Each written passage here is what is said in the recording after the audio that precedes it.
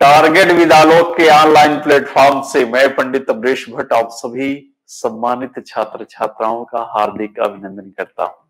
हम लोग आज 40 प्रश्नों की टेस्ट श्रृंखला में भाग लेंगे। आशा ये करता हूँ कि आपको ये टेस्ट श्रृंखला पसंद आएगी और अच्छी लगेगी। जो प्रश्न होंगे आपके लिए लाभकारी होंगे। आइए, हम चलते हैं। प्रश्नों की श्रृंखला की तरफ़ चलते हैं और इसको हम लोग देखते हैं। पहला प्रश्न आपके सामने आता है और पहला प्रश्न होता क्या है? निम्नलिखित में से कौन सी एक संधि का प्रकार नहीं है? कह रहे हैं कि कौन एक ऐसा है जो संधि का प्रकार नहीं है? इसको बोला करिए। तो आप जानते हैं संधि तीन प्रकार की होती है। कौन संधि? पहली स्वर संधि होती है। दूसरा व्यंजन संधि और तीसरा विसर्ग संधि होती है। अनुस्वार नामक कोई संधि नहीं होती है। जिसमें स्वर संधि के आपके कितने भेद होते हैं? स्वर संधि के आपके पाँच भेद होते हैं। पहला जो भेद होता है, वह दीर्घ स्वर संधि होता है। क्या होता है? दीर्घ स्वर संधि।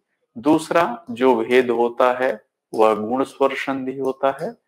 और तीसरा जो भेद होता है, वह वृद्धि स्वर संधि होता है।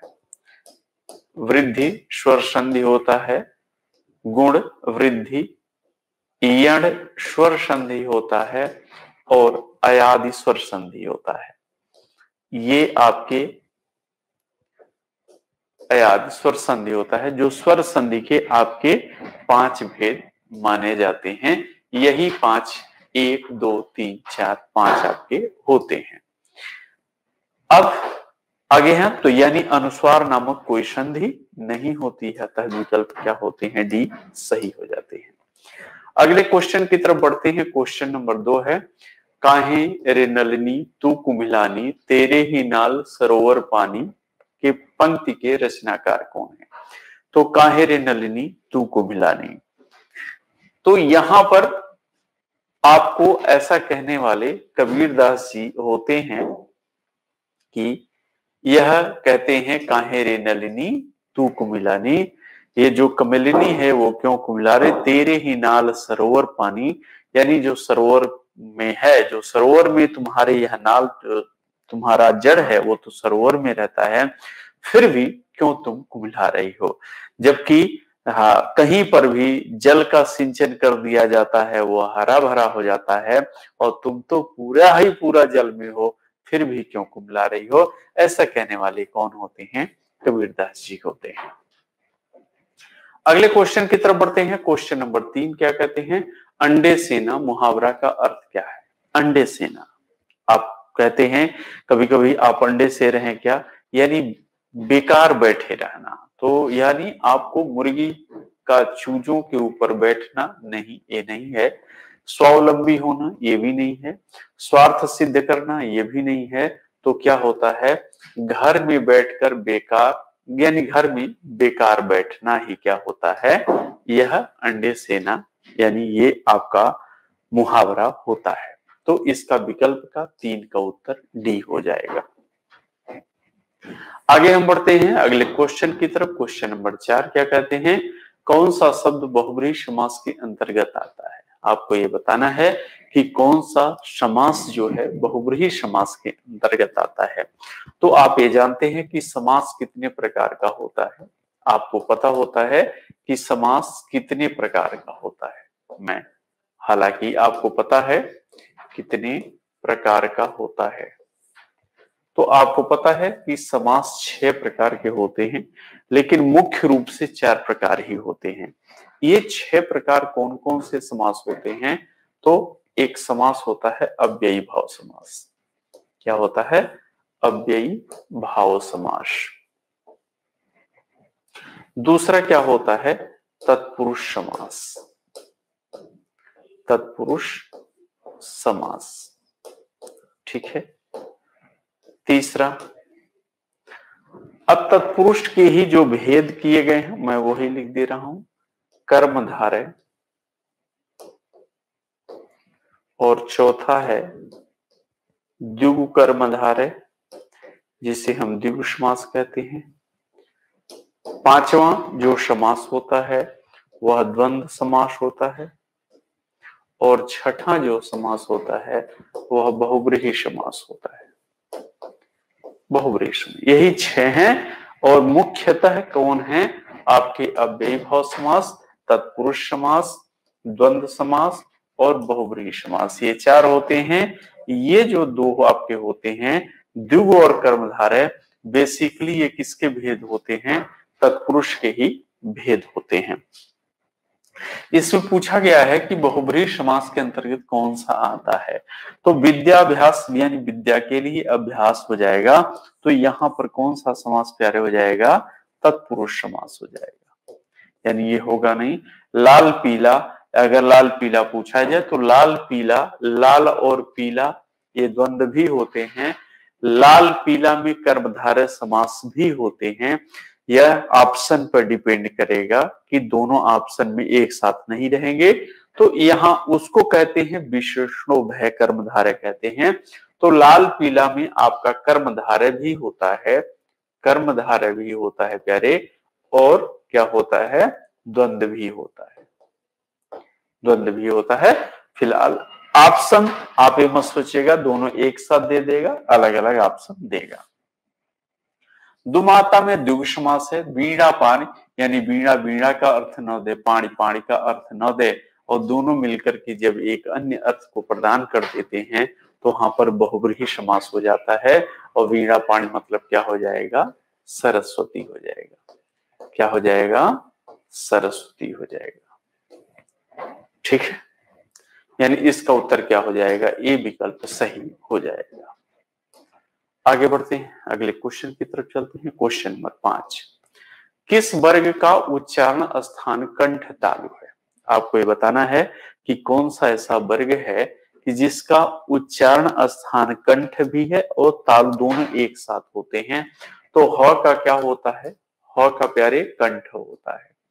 छ का चौ, छ, जो ठीक है? इसका होता है तालब्य होता है, यानी तालु होता है। ओ का क्या होता है? कंठ होता है, प्लस ओष्ठ होता है, यानी कंठोष्ठ होता है।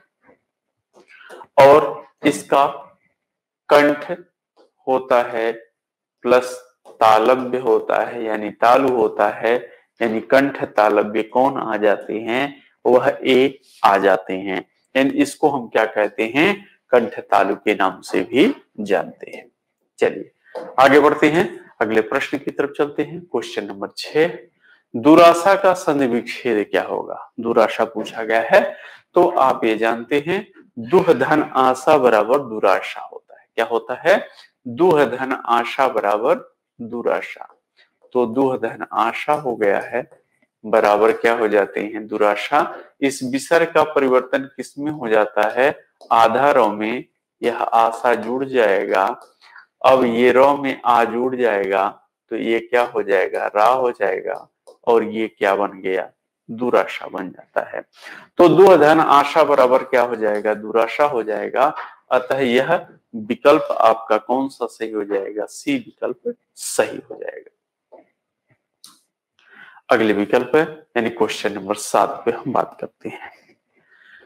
प्रथम तार सप्तक का प्रकाशन वर्ष क्या होता है? तो प्रथम तार सप्तक का प्रकाशन वर्ष क्या होता है? 1943 होता है। अज्ञेय के संपादकत्व में, यानी अज्ञेय जी ने क्या किया है? अज्ञेय के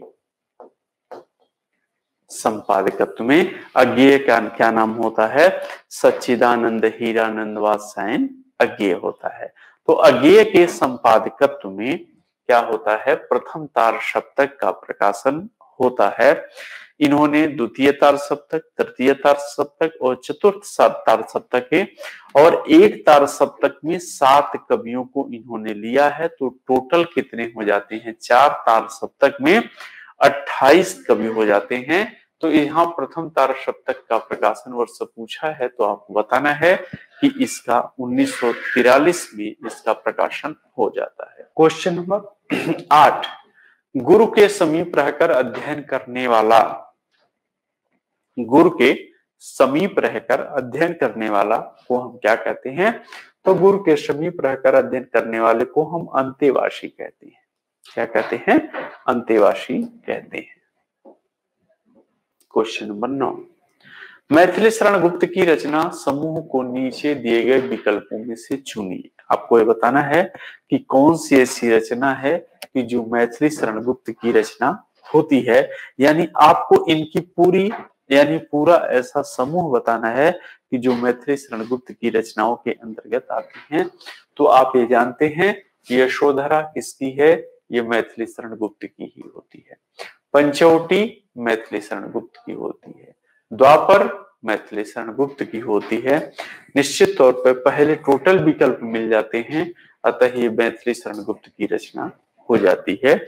बाकी रचनाएँ नहीं होती हैं।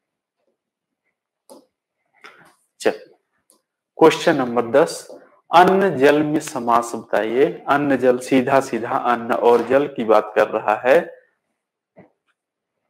तो यहाँ पर द्वंद समास हो जाएगा।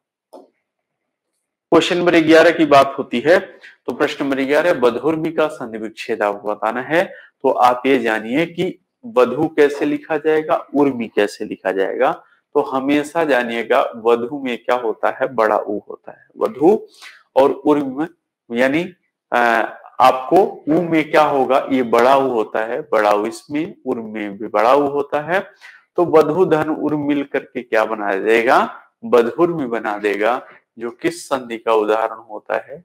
दीर्घ स्वर संधि का होता है। किसका होता है? दीर्घ स्वर संधि का उदाहरण होता है। अतः ग्यारह का उत्तर क्या हो जाते हैं? बी, सही हो जाते हैं। क्वेश्चन नंबर बारह किस शब्द में री स्वर नहीं है? किस शब्द में री स्वर नहीं है? आपको बताना है, कृपा में री स्वर है, एकदम सही है कौधन री होते हैं।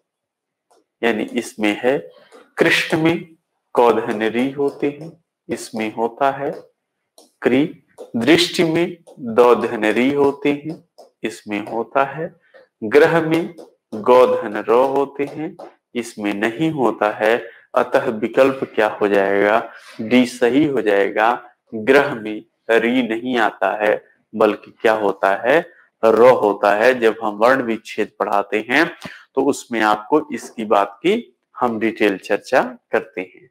तो अतः यहाँ पर क्या हो जाता है, डी विकल्प सही हो जाता है।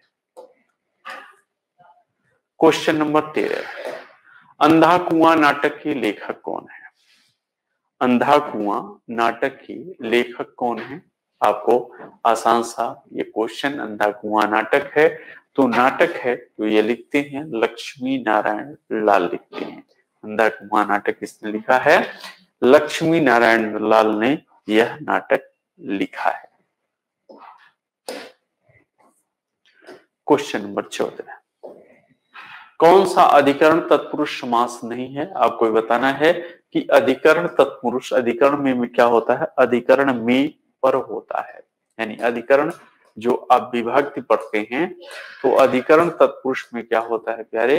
अधिकरण में भी होता है और पर भी होता है। यानी ये होता है तो पुरुषों में उत्तम हो गया, यानी अधिकरण हो गया। देशासन, देश में अटन हो गया। अटन मतलब क्या होता है? अटन मतलब क्या होता है? घूमना फिरना। ठीक है? घूमना फिरना। ठीक है, इसी को हम क्या कहते हैं? अटन कहते हैं। तो देश धन अटन बराबर, देशाटन, अगर संधि पूछा जाए तो इसमें कौन सा हो जाएगा? दीर्घ स्वर संधि हो जाएगी। संधि पूछा जाए तो दीर्घ स्वर संधि हो जाएगी। तो यहाँ पर देशाटन, देश में अटन, देश में घूमना फिरना ही देशाटन होता है। अतः ये भी आपके अधिकरण तत्पुरुष के अंतर्गत ही आएँगे। इसके अलावा हम कुल में श्रेष्ठ हैं, यानी जो कुल में श्रेष्ठ हूँ, ये भी होते हैं। धर्म से भ्रष्ट हैं, यानी इसमें नहीं आ जाएगा। इसमें आपका ये अधिकरण तत्पुरुष न होकर के क्या हो जाएगा? धर्म से, यानी अपादान का से, धर्म से क्या हो गया? भ्रष्ट हो गया है। अतः ये विकल्प क्या हो जाएगा? डी विकल्प सही हो जाएगा। आगे हम बढ़ते हैं। अगले क्वेश्चन की तरफ़ चलते हैं और क्वेश्चन नंबर पंद्रह पर आते हैं। महल के भीतरी भाग को किस शब्द से जानते हैं? तो महल के भीतरी भाग को हम क्या कहते हैं? अंतपुर कहते हैं। क्या कहते हैं? अंतपुर कहते हैं। गर्भगी नहीं, भीतरी तल नहीं, रनिवास नहीं, बल्कि महल के भीतरी भाग को हम क्या कहते हैं? अंतपुर कहते हैं। क्वेश्चन नंबर सोलह। अंतरात्मा का शुद्ध संधि विच्छेद क्या होगा? आपको ये बताना है कि अंतरात्मा का शुद्ध संधि विच्छेद क्या होगा? तो अंतरात्मा यहाँ पर जब भी आप ये देखिएगा कि र की आवृत्ति होती है तो वो प्रायः व्यंजन संधि में ही आता है। कभी कभी ऐसा होता है कि वो नहीं होता है, कोई हंड्रेड परसेंट नहीं है। तो अंत धन आत्मा बराबर क्या हो जाएगा? अंतरात्मा। इस विसर्ग का परिवर्तन आधारों में हो जाएगा। यह आ मिलेगा तो अंतरा हो जाएगा। तुमा, ये बचा तो अंतरात्मा हो जाएगा। तो अंत धन आत्मा बराबर क्या हो जाएगा? अंतरात्मा हो जाएगा। चलिए क्वेश्चन नंबर सत्रह। मुहावरे का प्रयोग वाक्य के अंतर्गत होता है। मुहावरे का प्रयोग वाक्य के अंतर्गत होता है और लोकोक्ति पूर्ण वाक्य होती है यह कथन। मुहावरे का प्रयोग वाक्य के अंतर्गत होता है ये सही है ये ठीक है, और लोकोक्ति पूर्ण वाक्य होती है ये भी क्या है? सही है। यानी कथन आपके दोनों क्या होते हैं? सही हो जाते हैं। कथन गलत है? नहीं। कथन का प्रथम अंश सही है? नहीं। कथन का अंतिम अंश सही है? नहीं। दोनों कथन क्या होते हैं? ये सही हैं। अतः विकल्प क्या हो जाते हैं? ये सही हो जाते हैं। क्वेश्चन नंबर अठारह। पराधीन सपने सुख नाही, किस किस रचनाकार की पंक्ति है? यानी किस रचनाकार की पंक्ति है? पराधीन सपने सुख नाही। किस रचनाकार की यह पंक्ति होती है? तो पराधीन सपने सुख नाही, ये बाबा तुलसी ने कहा है। अपने रामचरित मानस में पराधीन सपने सुख नाही। जो दूसरे के अधीन है, उसको स्वप्न में भी सुख नहीं मिलता है। ये बात सत्य है। जो पराधीन मतलब परतंत्र, जो परतंत्र है, यानी दूसरे के अधीन है, वह स्वतंत्र नहीं है, वह स्वप्न में भी उसको सुख नहीं मिलता है। तो पराधीन सपने सुख नहीं। तुलसीदास। निम्न में अर्धस्वर क्या कहलाता है? निम्न में अर्धस्वर क्या कहलाता है? तो अर्धस्वर प्यारे, यो कहलाता है। यो को हम क्या कहते हैं? अर्धस्वर के नाम से भी जानते हैं। तो यो क्या हो गया? अर्धस्वर हो गया। य, व, र, ल। य, र, ल, व, ये चार ऐसे होते हैं जिसको अर्धस्वर कहते हैं, जिसमें य को प्रथम वर्य था, य व को द्वितीय था। फिर तृतीय में आपके य, र, ल, व चारों को भी अर्धस्वर के नाम से हिंदी में जानते हैं, लेकिन संस्कृत में य और वो को ही जानते हैं, इसलिए य को ही आप, इसमें तो य ही होगा। क्वेश्चन नंबर बीस। मृत्यु धन उपरांत बराबर संधि करने पर क्या होगा? तो मृत्यु धन उपरांत, यानी ये क्या, यहाँ से क्या मिलेगा? ऊ मिलेगा, धन यहाँ से क्या मिलेगा? ऊ मिलेगा, यह मिल करके बड़ाऊ हो जाएगा, और ये शब्द क्या बना देगा? क्या बना देगा? मृत्यु परांत बना देगा। और ये भी कौन सी संधि होती है? ये भी आपकी दीर्घ स्वर संधि होती है। ये भी आपकी क्या है? दीर्घ स्वर संधि होती है। ये विकल्प आपके क्या हो जाते हैं? सही हो जाते हैं। क्वेश्चन नंबर 21 खाद्य सामग्री जो यात्रा के समय रास्ते में उपभोग के लिए दी जाती है। खाद्य सामग्री जो यात्रा के समय आपको जो भी ऐसी खाद्य सामग्री दी जाए, जो यात्रा के लिए, यात्रा के समय दी जाती है। आप लोग आते हैं ना, घर से आते हैं या कहीं से कहीं जाते हैं तो भोजन बना करके मिलता है, कुछ भी मिलता है तो वो जो खाद्य सामग्री जो रास्ते में दी जाती है रास्ते के लिए दी जाती है, उसको हम क्या कहते हैं? तो उसको हम पाथेय कहते हैं। क्या कहते हैं? उसको हम पाथेय के नाम से जानते हैं। क्वेश्चन वाइज अल्प प्राण ध्वनियों का समूह कौन है? आपको बताना है कि अल्प प्राण ध्वनियों का समूह कौन है? तो अल्प प्राण में क्या होते हैं? अल्प प्राण में क्या शामिल होते हैं?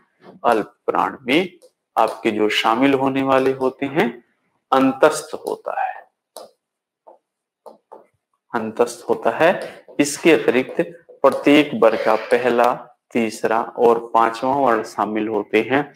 तो प्रत्येक वर्ग का पहला, तीसरा, पांचवा का अर्थ हुआ, यानी आप ये देखिए, क, ग च, ज ट, ड त, द, न, प म। प्रत्येक वर्ग का तो क, ख, ग आ गया ये होगा नहीं। च, ज यानी ये हो जाएगा। ये आपके प्रत्येक वर्ग का पहला, तीसरा और पांचवा, अतः विकल्प क्या हो जाएगा? ये सही हो जाएगा। यानी बाईस का उत्तर आपका क्या हो जाएगा? बी सही हो जाएगा। चलिए, अगले क्वेश्चन आते हैं। क्वेश्चन नंबर तेईस, मेरी तिब्बत यात्रा के रचनाकार कौन होते हैं? तो आपको ये बताना है कि मेरी तिब्बत यात्रा के रचनाकार कौन होते हैं? मेरी तिब्बत यात्रा। तिब्बत यात्रा तो ये इसके रचनाकार राहुल शंकर त्यान जी हो जाते हैं।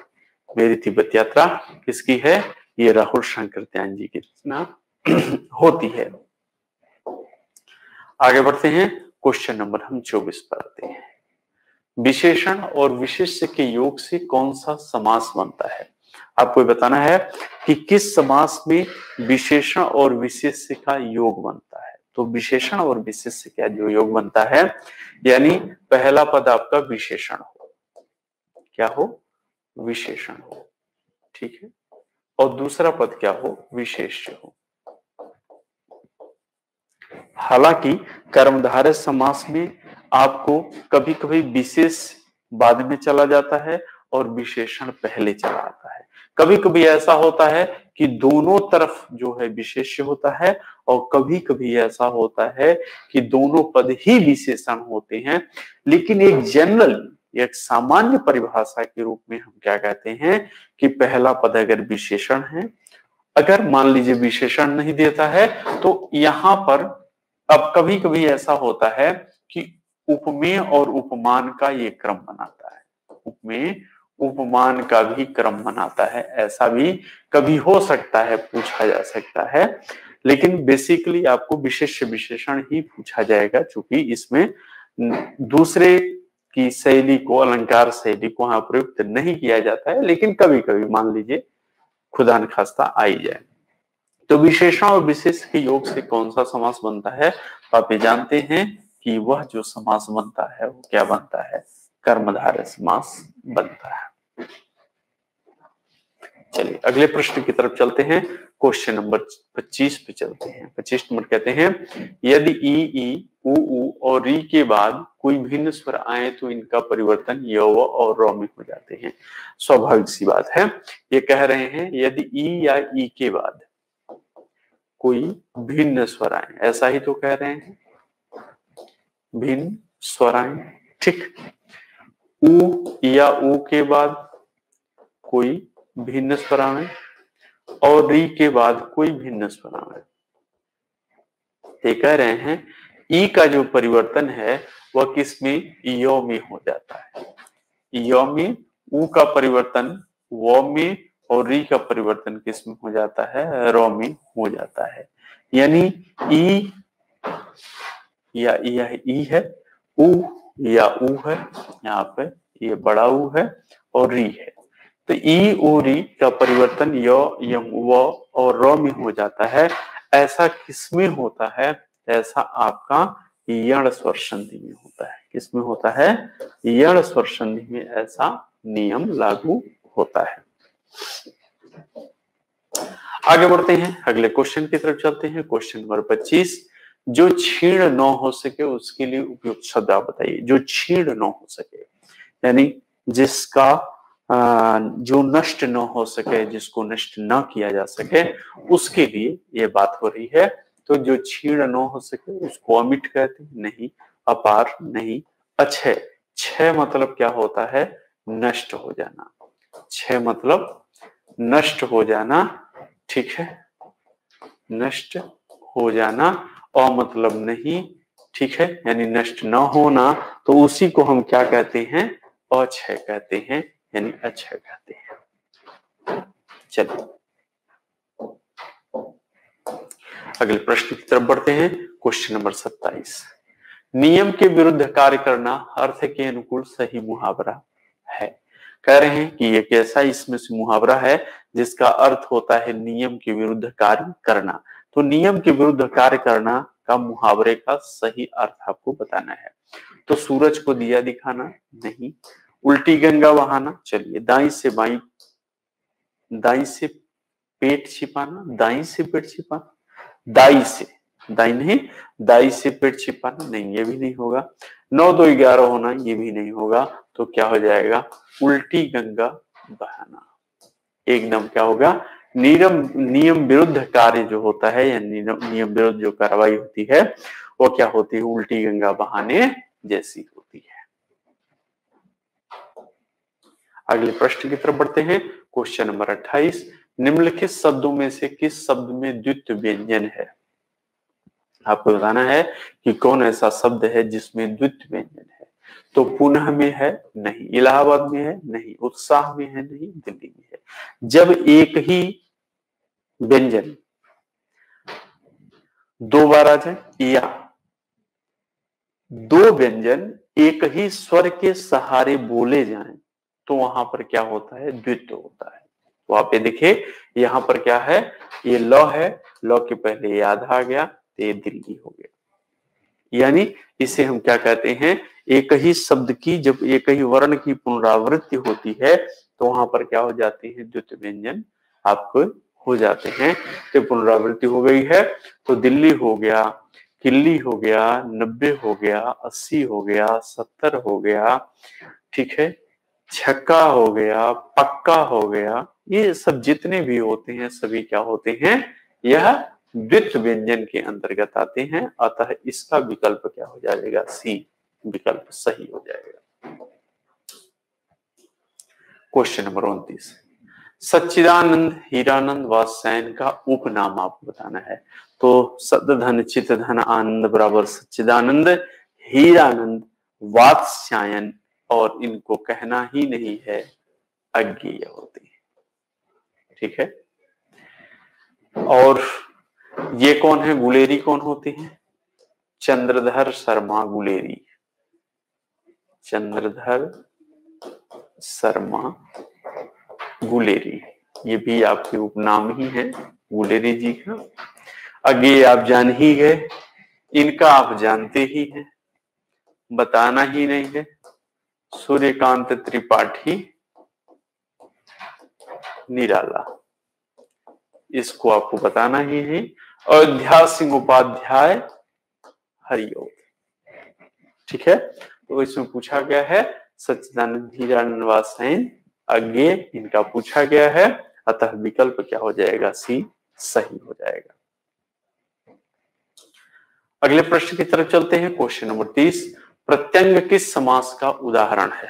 आपको बताना है कि प्रत्यंग जो है, वो किस समास का उदाहरण है? तो प्रत्यंग है। तो यहाँ पर कह रहे हैं, प्रतिधन अंग होता है। प्रतिधन अंग बराबर क्या हो जाएगा? प्रत्यंग हो जाएगा। तो समास की दृष्टि से अगर आप देखते हैं तो यह क्या हो जाएगा? अव्ययी भाव समास हो जाएगा। क्या हो जाएगा? अव्ययी भाव समास हो जाएगा। और संधि की दृष्टि से अगर इसको देखा जाए प्रत्यंग में तो कौन सा हो जाएगा? यण स्वर संधि हो जाएगा। क्या हो जाएगा? यण स्वर संधि हो जाएगा, क्योंकि ई के बाद अगर कोई भिन्न स्वर आते हैं तो उनका परिवर्तन योम्य हो जाता है। अभी जस्ट इसके पीछे हम लोग क्या किए हैं, पढ़े हैं। इसका उत्तर क्या हो जाएगा? ए सही हो जाएगा। क्वेश्चन नंबर इकतीस। जिसके सिर पर चंद्र हो के लिए उपयुक्त शब्द है। जिसके सिर पर चंद्र हो के लिए उपयुक्त शब्द है, जिसके सिर पर चंद्र हो। यानी सिर पर जब चंद्र हो जाएगा तो उसको हम चंद्रशेखर कहेंगे और क्या कहेंगे? ठीक है? चंद्रशेखर भोले बाबा को घरदानी को भी चंद्रशेखर के नाम से भी जाना जाता था। अतः विकल्प क्या हो जाएगा? बी सही हो जाएगा। आगे बढ़ते हैं, क्वेश्चन नंबर बत्तीस। दृघ का वर्ण विच्छेद आपको बताना है। किसका? दृघ का वर्ण विच्छेद आपको बताना है। तो दृघ का वर्ण विच्छेद क्या होगा? तो दृघ कैसे लिखा जाएगा? तो दो धन री। ये तो दो धन री मिलकर के क्या बनाएगा? द्री बनाएगा। ये द्री बनाएगा। गौधन और मिलकर के क्या बनाएगा? गौ बनाएगा। जो भी आपको शब्द मिलते हैं एक्स वाई जेड ये नहीं कि, कि एक ही शब्द। आपको कोई भी अगर शब्द मिलता है जैसे मान लीजिए कि हम लिखते हैं सत्य लिखते हैं ठीक है? और इसी का वर्ण विच्छेद कहने के लिए कहा जाए तो इसमें क्या हो जाएगा? सौ धन और मिलकर के क्या हो जाएगा? सौ हो जाएगा। धन आधा तो धन क्या हो जाएगा? धन यहाँ पे। न आधा तो धन यो, धन ओ हो जाएगा। ये क्या हो जाएगा? सत्य हो जाएगा। कोई भी शब्द आपको लिखता है, लिखा जाता है तो करना क्या है? स्वर और व्यंजन के लिए हम क्या करते हैं? अलग अलग विधान, यानी अलग अलग रूपों में इसको क्या हटा देते हैं तो उसे ही हम क्या कहते हैं? इसको वर्ण विच्छेद का नियम कहते हैं। अभी हाल ही में भी इसका पूछा गया है, इस थीसिस में भी आपको ऐसे ही किसी शब्दों के वर्ण विच्छेद के बारे में पूछे हुए थे। तो ये कोई ज़रूरी नहीं है कि धन का प्लस लगाए ही, ऐसा नहीं भी लगाया जा सकता है। अतः उत्तर किसमें क्या हो जाएगा? ए विकल्प सही हो जाएगा।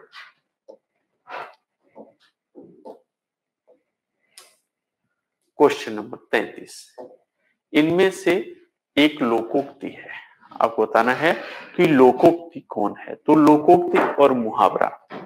आप ये जान लीजिए, एक होता है, लोकोक्ति होता है। ठीक है? लोक धन उक्ति मिलकर के लोकोक्ति बनती है। लोक धन उक्ति मिलकर के क्या बनती है? लोकोक्ति बनती है, यानी लोक मतलब संसार। उक्ति मतलब वचन होता है। यह लोगों के उक्ति यानी वचनों से सुन करके क्या होता है? इसका निर्माण होता है, लोकोक्तियों का निर्माण होता है। लेकिन इसमें ऐसा नहीं है कि जितने भी लोग कह, जितने भी लोग कहते हैं, सभी लोगों के लोकोक्ति बन जाते हैं। लोकोक्तियाँ अथवा कहावतें, यह प्रयोग सिद्ध होती हैं, यानी समाज में कही गई जो बात होती हैं उन बातों का मानवीय जीवन में प्रयोग सिद्ध किया जाता है। तो उसे ही हम क्या कहते हैं? लोकोक्ति कहते हैं। और लोकोक्तियाँ क्या होती हैं? बड़ी होती हैं। लोकोक्तियों के अर्थ को स्पष्ट नहीं करना पड़ता है, बल्कि उनके अर्थ आसानी से स्पष्ट हो जाते हैं, जबकि मुहावराओं के अर्थ स्पष्ट करने पड़ते हैं।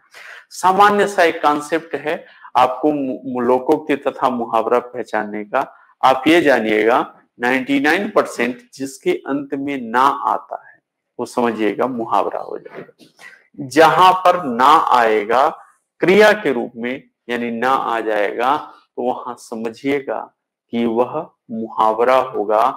अगर नहीं आता है तो समझिएगा कि वह लोकोक्ति होगा अथवा कहावत होगा। तो आपको ये सा, साधारण सी बात है साधारण सी पहचान मैंने बताया है। अंगूठा दिखाना यहाँ पर क्या है? यह क्या है? मुहावरा है। ये क्या है? मुहावरा है। अंधा होना ये ना है ये भी क्या है आपका? मुहावरा है। ऊँट के मुँह में जीरा यहाँ पर ना नहीं आया इधर उधर हाँकना ये भी क्या हो गया? आपका मुहावरा हो गया।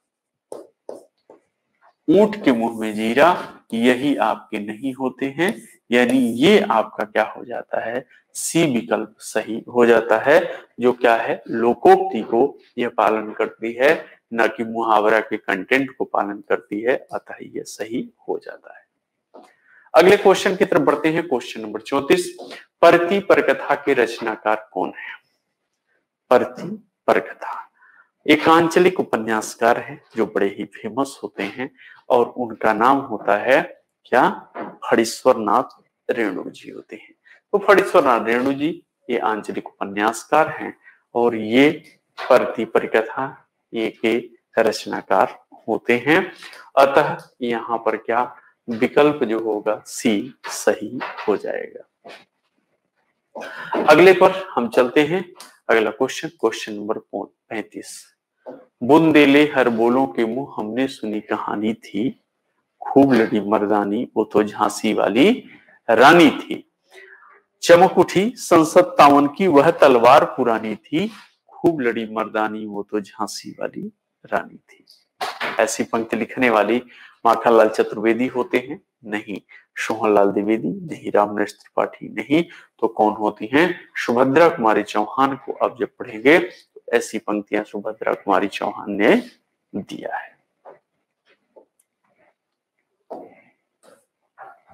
क्वेश्चन नंबर छत्तीस।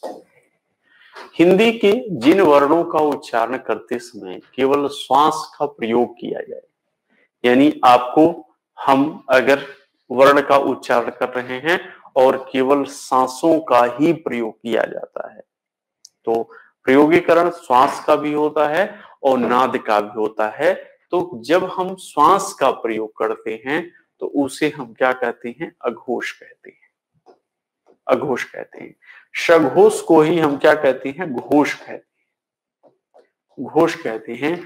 और घोष में किसका प्रयोग होता है? नाद का प्रयोग होता है। नाद मतलब क्या होता है? आवाज़ होता है। नाद का मतलब क्या होता है? प्यारे, आवाज़ होता है। ठीक है? नाद का मतलब आवाज़ होता है। ठीक है। तो इसमें नाद का अघोष में क्या सांस का ही प्रयोग होता है, अतः विकल्प आपके ए सही हो जाते हैं। अगले प्रश्न की चर्चा करते हैं, क्वेश्चन नंबर सैतीस। घी के दिए जलाना। घी के दिए जलाना, यानी घी के दिए जलाना आप घी के ऐसा दिया तो जलाएँगे नहीं।